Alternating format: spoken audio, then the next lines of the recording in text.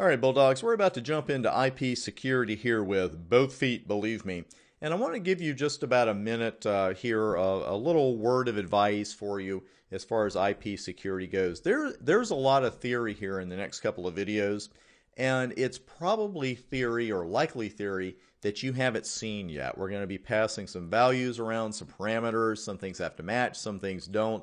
Uh, so in some ways, it's going to be like old home week, right? It's going to be like learning OSPF or EIGRP for the first time. You got to learn all these values, and you get a little overwhelmed by it. But the thing is, you hang in there and you master it.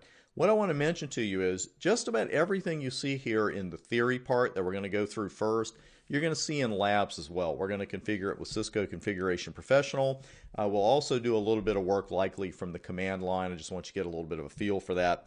And once you work with site-to-site VPNs and that kind of thing uh, at the command line, you'll be really happy to have Cisco Configuration Professional around. Uh, it can get a little lengthy at the command line, I certainly admit. But uh, what I just want to tell you here is if it gets a little overwhelming for you the first time you look at it, that's okay because there's a lot going on. But you will see all of this again in uh, in the video in the labs and that's why I like a course like this. You know, in person training is fine, but you only get to see it once.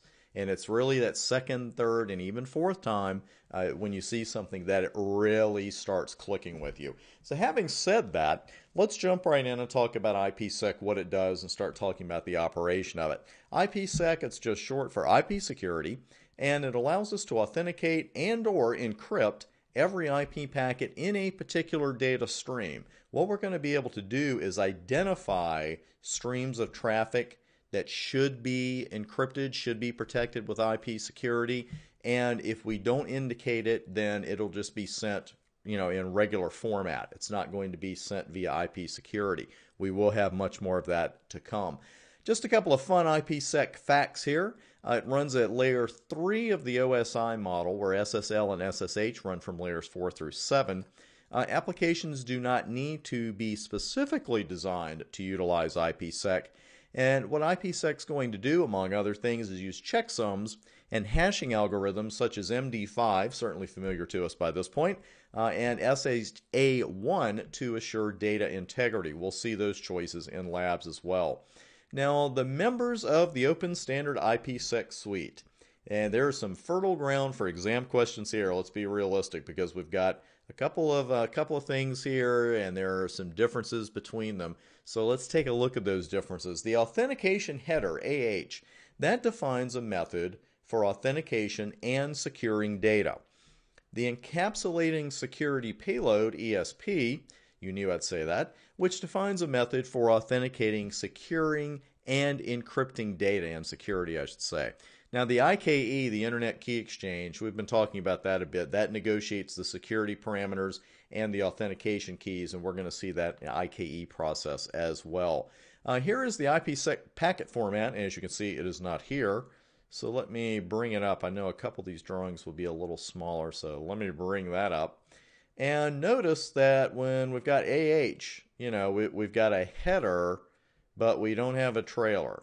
With ESP, you know, we've got that header and trailer around the data, which is encapsulation. And that is a good thing to remember about our friend ESP. I mention that not to be a smart aleck, but just to say that sometimes we forget these acronyms actually stand for something. You know, what well, which one of these encapsulate? It's ESP. Well, AH, let's hit that one first. Authentication header and it's defined in RFC 2402 and it offers solid security. There's nothing wrong with AH. Now, it provides data origin authentication as well as offering optional anti replay protection, and we know we can also just call that replay protection. Now, the drawback with authentication header is that the authentication it provides for the IP header is not complete. And that's because some of the IP fields can't be correctly predicted by the receiver. These are mutable fields, and of course, anything that's mutable uh, can be changed, and these mutable fields can change during transmission. Now, AH will successfully protect the payload. You know, that's really what we're interested in. So, again, AH offers solid security. It's a good idea to know, though, what it offers and what it does not. Again, it offers data origin authentication, data integrity, and optional anti replay protection. It does not offer data confidentiality. See, now you know why I was being so picky about these terms uh, much earlier in the course. Now, the encapsulating security payload, ESP, it does exactly what the name says. As we saw a moment ago with ESP, we've got a header and we've got a trailer, and that means we have encapsulation. It offers all of the following data origin authentication, anti replay protection, and data confidentiality. So we see one major difference there. Now, we're already starting to get into uh, a, a, variation of an argument or a question that we had early, early, early in our CCNA studies, actually our CCENT studies. If you took the two exam path, you know, remember the question, hey, if TCP is so great, you know, if it has all these features, then why use UDP at all? Remember that? And of course, the answer was overhead. TCP's overhead was a lot higher. Well, in this case, the question is if ESP is so great, especially when it offers data confidentiality, then why would we use AH at all? Well, what do you think? It's related to that. There, uh, one of the things, one of the factors is related to that discussion we had about TCP and UDP. It's really overhead. ESP is a lot more processor intensive than AH. You know, one of the things I, I like to say is don't don't pay for something you don't need. And if you don't need the data confidentiality, why pay for it in the form of a processor hit? You know, why do that? Now, ESP also requires strong cryptography, and not only is that not always available, it's not always legal. If you look carefully at uh, the boot process, when you first boot a Cisco router, if you got one in the lab, you can reload. Just watch that. There's usually a warning in there, especially if you have some of these features uh, you know, that you can't use it in certain countries and certain regions of the world. So it's just uh, something to be aware of there. Now let's talk about the case of tunnel v transport, because I'm sure this is going to come up on your test in one way or another. And these are a couple of modes that we can run both ESP and AHN. Now in tunnel mode, the entire IPsec process totally transparent to the end devices. They don't even know what's going on. And we have specialized IPsec gateway devices to handle the entire IPsec workload. Now, the entire IP packet is encrypted in tunnel mode, and then that encrypted packet is placed into another IP packet. So the encapsulating packet will have the IP addresses configured on the tunnel endpoints and it's those tunnel IP addresses that will be used to route the packet. It's pretty cool stuff because you'll actually see a tunnel, say interface tunnel zero, and have an IP address on it as well. You'll need that. Now, transport mode encrypts the IP payload, but the IPsec header is inserted directly after the IP header in the packet. So as a result, with transport mode, there's no protection for the original IP address. The original IP address will be used for routing, and only data from the transport layer up is protected by IPsec. Now, I know you can replay the videos, but let's go over that again while we're here. Again, in tunnel mode, the keys are the entire process is transparent to the end hosts, and you have specialized gateway devices. With tunnel mode, the entire packet is encrypted, and then that encrypted packet is placed into another IP packet, and the encapsulating packet will have the IP addresses configured on the tunnel endpoints, uh, and it's those tunnel IP addresses that will be used to route the packet. So you truly are tunneling it. With transport mode, the payload is encrypted, but the IPsec header is inserted directly after the IP header in the packet. So there's no protection for the original IP address. It's just hanging out there. The original IP address will be used for routing, obviously, and only data from the transport layer up is protected now, before we get into more details, I should say, of how IPsec works, let's look at IKE a bit, the Internet Key Exchange. It's defined in RFC 2409, and what IKE is going to have to do is negotiate the parameters of the communications channel, authenticate both endpoints, handle the exchange of public keys, and manage the keys. That's a lot of work.